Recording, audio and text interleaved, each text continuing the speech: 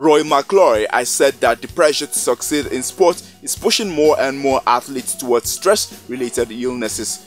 McIlroy, who slipped from the top of the rankings to world number 6 after a winless 2013, said the mental toll of sport could far outweigh physical pressures and cases such as that of England cricketer Jonathan Trott were becoming more frequent. The mental case of Trott made him fly from Australia to deal with a stress-related illness following England's troubled start at the Ashes series.